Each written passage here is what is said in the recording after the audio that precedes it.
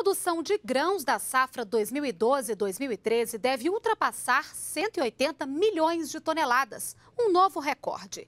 As estimativas divulgadas hoje pela Companhia Nacional de Abastecimento, a Conab, indicam também aumento da área plantada.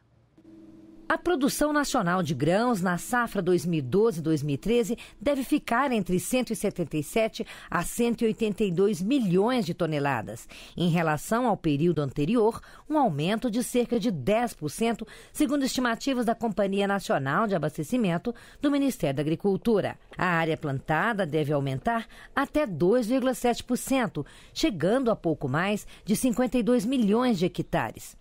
O grande destaque na produção deve ficar para a lavoura de soja. A soja cresceu muito a área plantada, deve crescer muito a área plantada, portanto a produção, tomando inclusive nessa primeira safra a área de milho.